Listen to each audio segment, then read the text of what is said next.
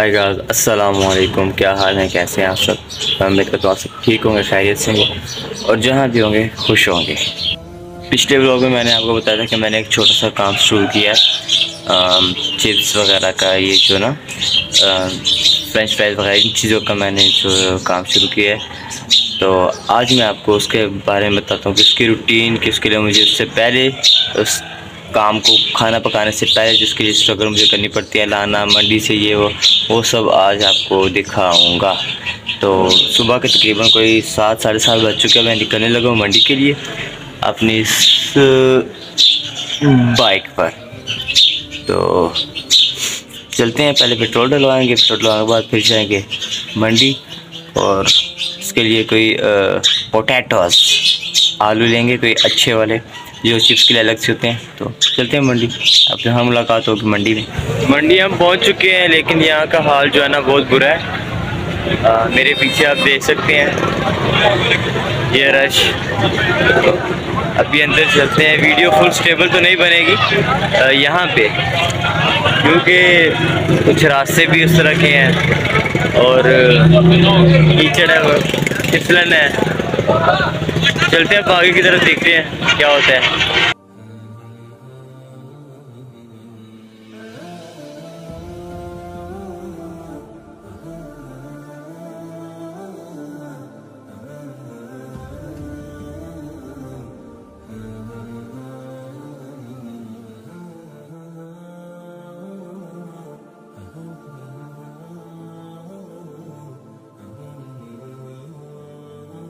Bike में बाहर park कर आया हूँ कोई स्टैंड नहीं है ऐसे ही अल्लाह तवक्ल भला करो अल्लाह करे वापिस जाऊँ मौजूद भी हो। तो ये अभी मैं मंडी के अंदर मौजूद हूँ जो आ, आलू पोटैटो आलू पोटैटो जो मैं लेने आया वो मुझे मिल नहीं रही।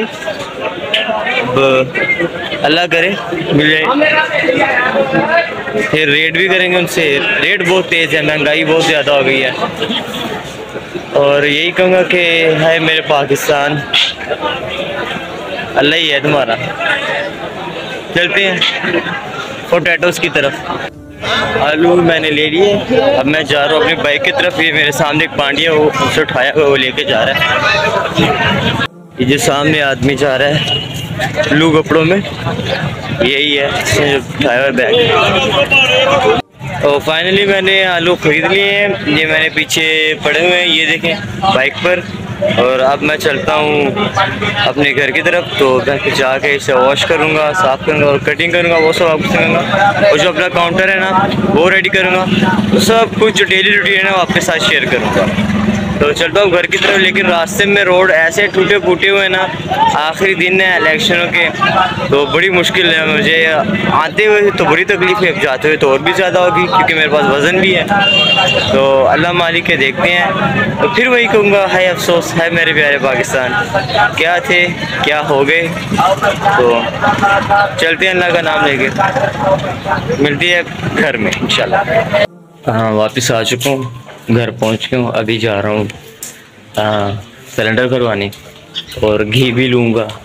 तो फिर नाश्ता करेंगे, थोड़ा शावर लूँगा और फिर आके आपके साथ शेयर करूँगा। आलू काटूँगा और काउंटर जो रेडी करूँगा अपना।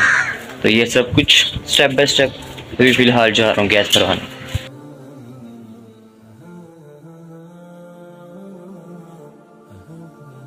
गैस भरने का अब हमारा अगला कदम है घी लाना। तो घी में ले आया। ये चीज़ है, ठीक है? और अब चलता हूँ जाके जो पोटैटोस की जो बोरी है ना, उसकी अनबॉक्सिंग करते हैं। तो आपको दिखाते हैं, फिर उसे वॉश करेंगे कटिंग करेंगे। चलते हैं उस तरफ़। अच्छा तो ये जो आलू का तोड़ा था, वो मैंने खोल लिया है।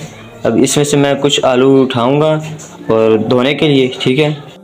अब मैं इसे धोने के लिए इसमें डाल रहा हूँ। तो जब तक ये धुल जाती हैं तब तक मैं कोई और छोटा मोटा काम कर था फिर इसकी जो कंडीशन है वो आपके सामने लाता हूँ एक सेकंड और इन आलू को छीलने की ज़रूरत भी नहीं है। आलू जो है ना, बिल्कुल साफ़ हो चुके हैं, ठीक है? इसे वैसे इतनी साफ़ करने की मतलब इसमें से जो छिलके उतारने की ज़रूरत नहीं क्योंकि ये दूसरे आलू हैं। जो येलो कलर के होते हैं तो येलो है, लेकिन इसे वाइट आलू कहा जाता है।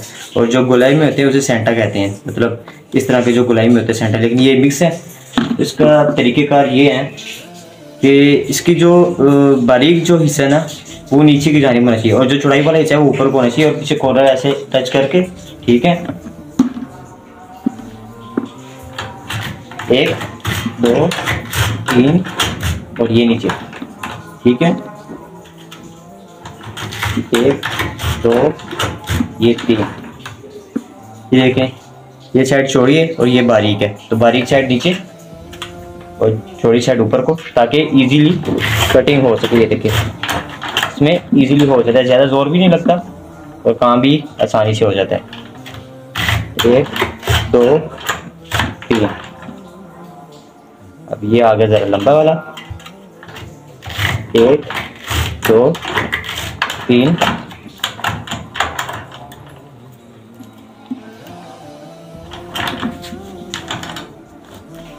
ये आपके सामने तैयार है। ये फ्राइज रेडी है। अब ये फ्राइज यहाँ से बाहर मेरे पास आएँगे। फिर मैं वहाँ इस पर मैदा, बेसन वगैरह, ज़ीरा और जो बाकी जो मटेरियल है वो सब लगा के रेडी करूँगा। ठीक है? अब चलते हैं बाहर। फ्राइज रेडी हो चुके थे, लेकिन मैं मसरूफ़ था, इसलिए वीडियो शूट नहीं कर सका। तो अभी दोबारा वो बनेंगे, उसकी ओरिजिनल ताज़ा वीडियो मैं लाऊँगा आपके अगली इसके साथ अगले क्लिप में। तो फ़िलहाल तो मैं बना चुका हूँ रोल समोसा वगैरह। तो मैंने रेडी कर लिए हैं।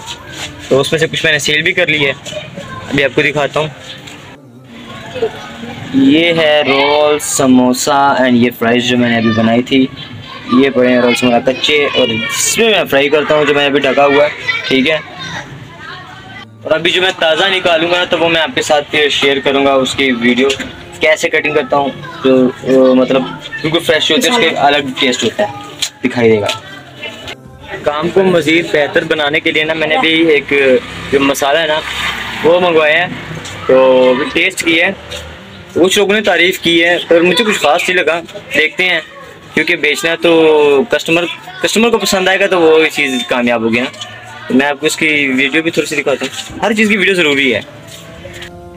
ये मिसाल है ठीक है और ये नीचे ये फ़ूड वाले हैं।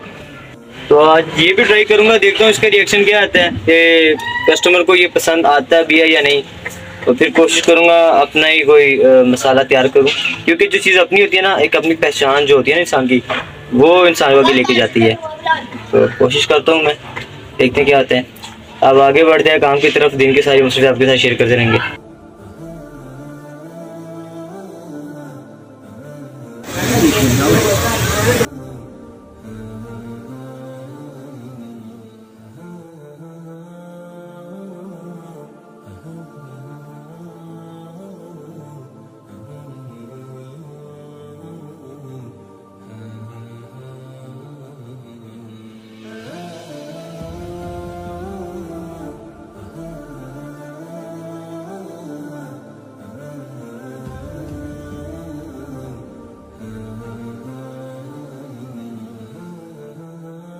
अच्छा तो ये फ्राइज़ मेरे पास बाहर आ चुकी हैं। मैंने थोड़ा सा मिसाला इस पर लगाया है। दरअसल मैं भूल गया था कि मैंने वीडियो शूट करनी तो मैं अभी दोबारा से थोड़ा सा लगा रहा हूँ। ये थोड़ा सा लगाया मैंने इसका कलर चेंज हो गया थोड़ा सा आपके सामने और करता हूँ। ठीक है? ये मसाला लिया मैंने। सर चिप्स खा लगते हैं बलगी खा। सही था? समोसे लाई सब निश्चय बस जोड़ो मार से।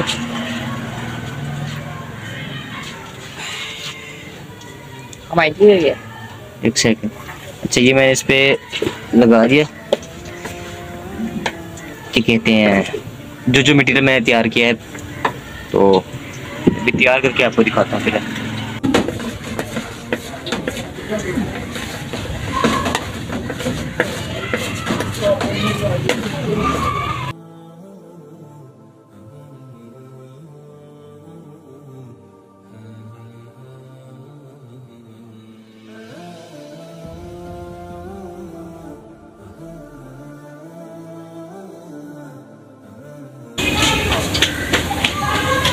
Welcome.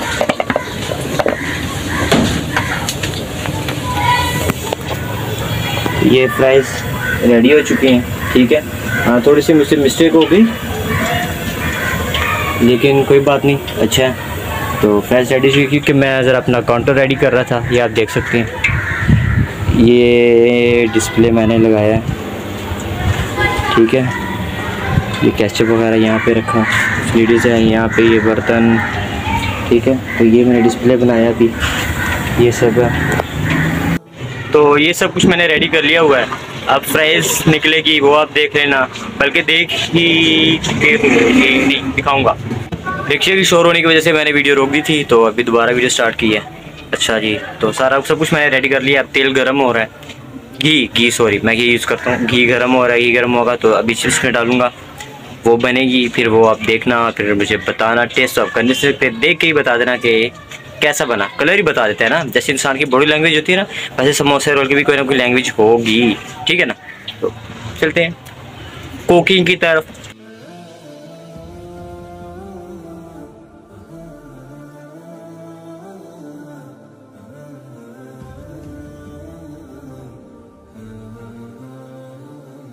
अच्छा तो फ्राइज़ रेडी हो चुकी, आपने देख लिया।